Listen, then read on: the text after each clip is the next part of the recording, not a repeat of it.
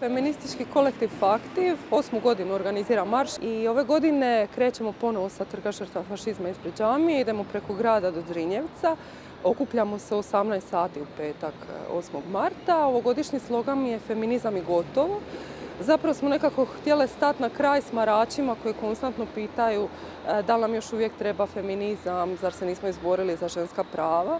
I zapravo naš odgovor na, na sva pitanja e, koja ljude muče feminizam, jer zapravo želimo vratiti nekako tu riječ. Mislimo da je važna i da nije otupjela i da je politički i dalje e, jako relevantna. Pa intencija nam je svakog 8. marta slaviti borbe, pretkinja, onih daljnjih, kako i ovih bližih, recimo hrabrih žena o Poljskoj, Bosni i svim drugim zemljama, ali ukazati na različite e, probleme kojima se žene, radnice, umirovljenice, migrantkinje ovih dana e, susreću.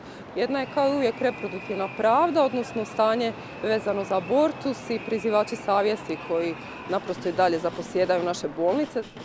Zatim smo se bavili kao uvijek radničkim pravima, odnosno položajem radnica u kontekstu e, galopirajuće inflacije. Zatim jedna tema koju smo se bavili je nasilje u kontekstu i novog zakona o femicidu i nasilja, rodno uvjetovanog nasilja, odnosno nasilja nad ženama i samog femicida, ali u kontekstu genocida u Gazi.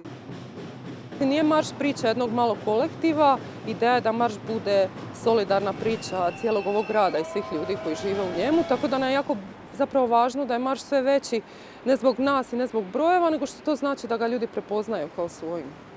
Pa nadamo se da će ove godine biti velik odaziv, pozivamo naravno sve da dođu e, na marš i čini nam se da su stvarno žene i ljudi i ljuti, i siromašni, i razočarani, ali da postoji neki ono pozitivni dišpet i bijes u svima nama, tako da vjerujemo da će se ljudi odazvati.